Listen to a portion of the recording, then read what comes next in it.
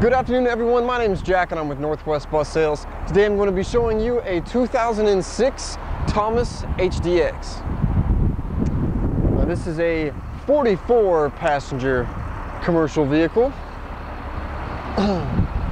and one thing that makes this bus a little bit different than the others, does have a dual entry door.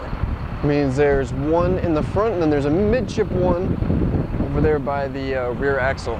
So uh, we're gonna come on in here. First things first we're gonna notice is uh, does have a black ribbed stepwell with a ribbed aisleway, all black flooring, and a dual entry grab rail.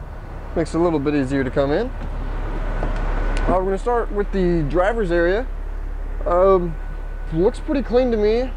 You'll notice right here, does have 128,000 miles on it. Definitely a lot of life left on that. Um, down here, AM FM cassette player. Looks like it's missing a little volume knob. uh, down here, these are your driver climate controls. Control, oh, well, pretty self-explanatory. All the driver climate controls. Uh, over here, your sort of dome lights, your rear heaters. Now, this commercial bus does have AC, and there are two sides to it, the driver's side and passenger side. And this is ducted AC, which I'll show you in a bit. Oh, this also does have uh, powered mirrors, definitely. And if you look at the mirror, I don't know if you can see it on the camera, but it does say heated. Definitely an awesome feature. Uh, coming on in the back, as I said before, ducted AC. Sometimes you'll just have the uh, the evaporator on the ceiling that blows out of one spot. Uh, basically, this is ducted out, so everyone has their own little little vent. Definitely a nice feature. And as I said, there is a control for the driver and the passenger side. Uh, as far as the actual seating, pretty much just your standard uh, school bus slash commercial bus style bench seating with a gray vinyl seat cover. Great for anyone doing employee hauling, tours, uh, charter work. Kind of fits a fits a long line of applications. Uh, as I said, there is a mid a midship door pretty much if you need to get people on and off the bus as quickly as possible, definitely an awesome feature there. uh, up top here, we do have some uh, overhead gr grab rails to hold on to, and there are speakers going all the way down the aisle that connect to the AM FM cassette radio in the front, and uh, also an emergency roof hatch, and there are some emergency exits on the side that are appropriately labeled. all right, coming outside, I'm to show you a quick view of the tires here. Tires actually got a, a lot of life left in them, definitely look good. Show you underneath. Mm-hmm. Underneath looks really clean.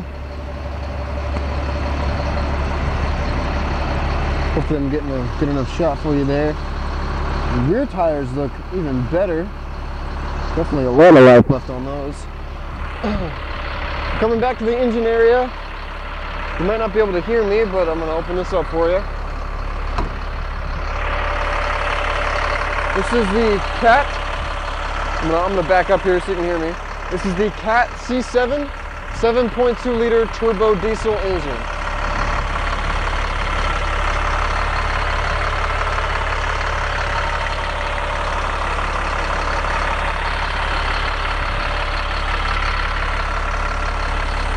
Definitely a clean looking engine area in there. Uh, now these are the driver's side duals in the back. A lot of life left in there. I do want to point out the very minimal rust on this bus. Uh, if, you, if you saw the undershots there, I mean, definitely looks really clean underneath. You get some of those rusty buses and you, you'll definitely know what I'm talking about.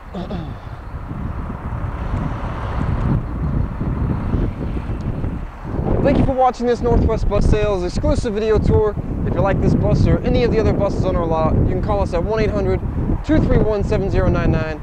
Visit us at nwbus.com or email us sales at nwbus.com. Thank you very much for watching.